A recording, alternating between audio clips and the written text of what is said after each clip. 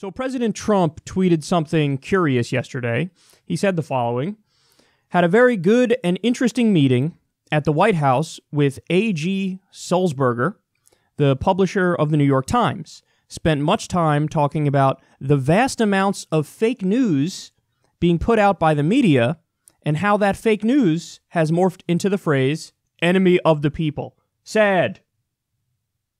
So, um, that's weird. Everybody looked at that tweet and said, You had a meeting with the New York Times where you guys were openly discussing the idea of fake news, and Trump makes it seem like A.G. Sulzberger is agreeing with him in this meeting.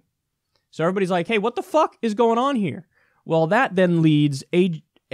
Sulzberger to release a statement uh, where he gives his version of events, and of course, it differs uh, wildly from what President Trump said. Uh, so here's what he says I told the president directly that I thought his language was not just divisive, but increasingly dangerous. I told him that although the phrase fake news is untrue and harmful, I am far more concerned about his labeling journalists the enemy of the people. I warned that this inflammatory language is contributing to a rise in threats against journalists and will lead to violence. I repeatedly stressed that this is particularly true abroad, where the president's rhetoric is being used by some regimes to justify sweeping crackdowns on journalists.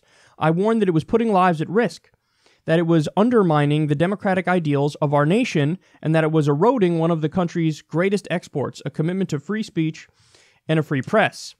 Throughout the conversation, I emphasized that if President Trump, like previous presidents, was upset with coverage of his administration, he was, of course, free to tell the world.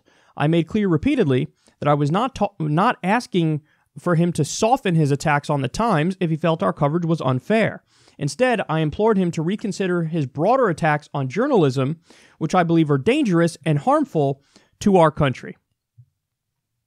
So that that seems like a pretty sober you know, breakdown and retelling of events from his perspective. The thing that I find absolutely incredible is that basically A.G. Sulzberger is saying, My point to Trump was, hey, dude, if you don't like our coverage, that's fine. And you could even call us out for it, but just relax a little and pump your brakes a little with the extremist rhetoric. When you say stuff like enemy of the people, I mean, God, you're really putting these people's lives at risk. There was a shooting recently um, at a newspaper, and people died. Now, that was unconnected from Trump, to be fair, because that person had a pre existing grudge from way before Trump was elected. But, you know, the idea still stands that, hey, you probably shouldn't say stuff like the press is the enemy of the people. That's a little too extreme. You could call us out if you want, if you think we're wrong or whatever, but don't go too far because there are real, real world consequences to this. So A.G. Sulzberger says that. And Trump's response is immediately when the meeting is over with A.G. Sulzberger, uh, he does exactly what Sulzberger said. Hey, man, just don't do this one thing. He immediately did it because I want to read you uh, Trump's tweet one more time. He said, had a very good and interesting meeting at the White House with A.G. Sulzberger, publisher of the New York Times. Spent much time talking about the vast amounts of fake news being put out by the media and how that fake news has morphed into the phrase enemy of the people. Sad. So that's not Donald Trump saying, okay, I am now no longer going to call the media the enemy of the people. That's Donald Trump saying, myself and the head of the New York Times agreed that there's a lot of fake news and that's bad. And we spoke about how that phrase evolved into enemy of the people. So he's calling the press the enemy of the people directly after the meeting with the head of the New York Times when the head of the New York Times said, hey man, the one thing I'm going to ask you to do is please don't call the press the enemy of the people because that's dangerous and that has real world consequences. So, I mean, I guess there's a few options as to why Trump did what he did. Some would probably argue, oh, he's, you know, playing three dimensional chess and he's a genius, so he's trolling and he knows he's doing what, uh, you know, was just discussed that he shouldn't do.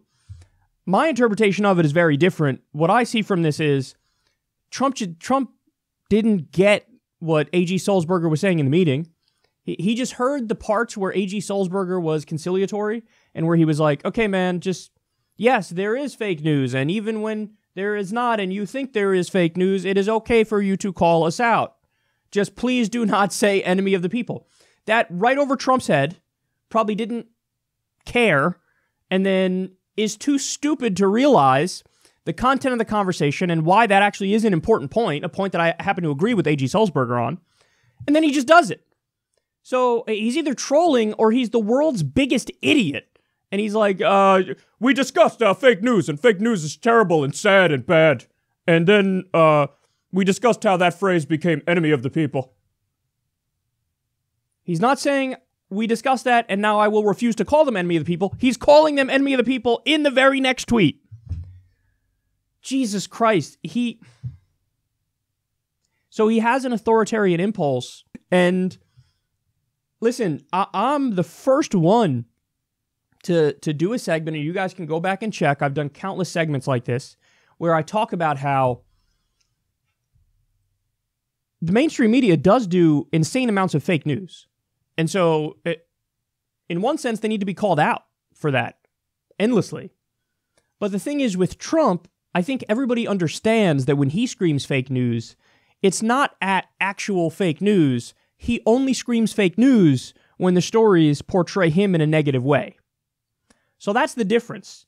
I think we should call out fake news and call out mainstream media when they objectively do a shitty job, like they lead us into a war that we shouldn't have been led into in the war in Iraq, or they call torture enhanced interrogation.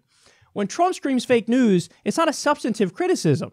When Trump screams fake news, it's you wrote a negative story about me, so I will scream fake news to try to get you to take back that story.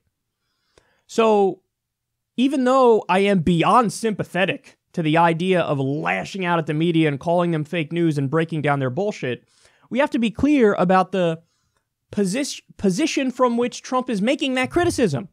And the position is just from a narcissistic, self aggrandizing, self serving point of view where it's not connected to reality. It's just, don't say mean things about me. That, that's what this is. So it's just a sad situation that we're in because he's letting that get so out of hand, that impulse to like, just don't criticize me because then it's always fake news. That's so out of hand where it's not just the, you know, screaming fake news at the rallies and stuff like that, which is actually fine. I, I think that's totally fair game. If I was president, I would do the same shit because there is a lot of fake news. But when you start saying enemy of the people, I mean, how, we're getting super close to Lügenpresse, you know, lying press, the, the thing that Hitler used to say. Um, now, I don't think Donald Trump is Hitler. Relax. Uh, I do think he's an authoritarian menace. And I do think that it, the repeated times that he floated, you know, um, opening up our libel laws, making it easier to sue the media when they write negative stories, I do think that that's his that's his ideal. His ideal is to allow the government to suppress media. Thankfully, we have the First Amendment, and he'd probably lose any of those legal battles. But you know, it, it is scary that we seem to be at this point where the same way the Fourth Amendment is treated, where it's like, yeah, you have no protection from unreasonable search and seizure. We have the NSA doing warrantless spying on everybody. So that amendment is like non existent now.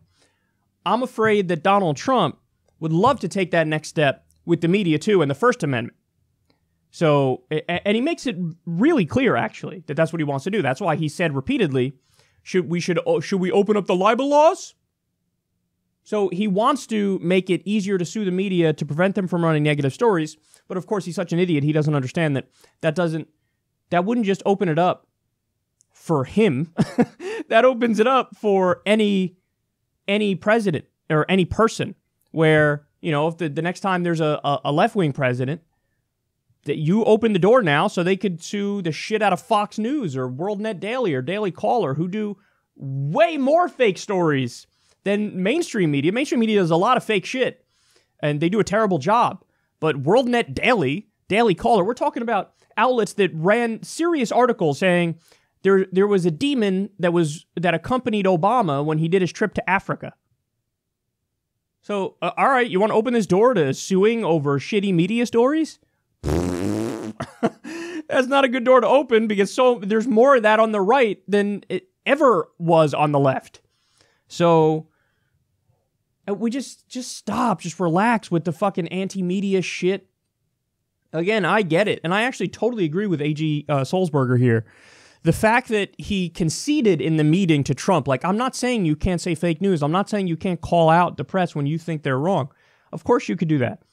I like that he added that because oftentimes what you see in mainstream media is they do their pearl clutching, but then their criticism goes way too far, where they act like no president can ever, ever utter any word of disagreement with the press because that, by definition, is a violation of the First Amendment. No, that's not true at all. And they always do this thing like, us? Me? We did nothing wrong at all. And it's like, no, you actually do do a lot of shit wrong, and you're objectively terrible at your job, and you fucking MSNBC covered, uh, you know, Stormy Daniels literally 455 times, and Yemen zero times in the last year. We're assisting a genocide in Yemen, and they don't even fucking talk about it. So when they, uh, you know, clutch their pearls and they act like we did nothing wrong and Trump is the and Trump is the problem, it's like, no, actually, you suck too, and it's a totally legitimate and valid criticism to say you guys are terrible also. But that's why it's important that you, you know, AG Sulzberger was like, listen, if we do a shitty job, okay, call us out, but just please stop with the enemy of the people stuff. Because that is when you go too far. That is when you're crossing some sort of a line where it becomes rank authoritarianism. And, it, you know, the next step is what Trump has threatened a thousand times, which is try to do some legal action against uh, freedom of the press. And actually, that may come in a very weird and roundabout way with Julian Assange and WikiLeaks, because apparently he's about to lose his um, asylum in Ecuador, and they're going to send him to the UK, and then the UK will likely send him to the US, and then they might go after him for, you know, whatever, any of the leaks that involved classified top secret information, whatever it may be. And um, I say that's weird and it might come in a roundabout way because there's a good argument to be made that with what WikiLeaks did with the DNC email hacks, that helped the Republicans. But see, this is the thing. They don't they don't care. They don't care. They would ra- they would they take a principled stand on the side of authoritarianism.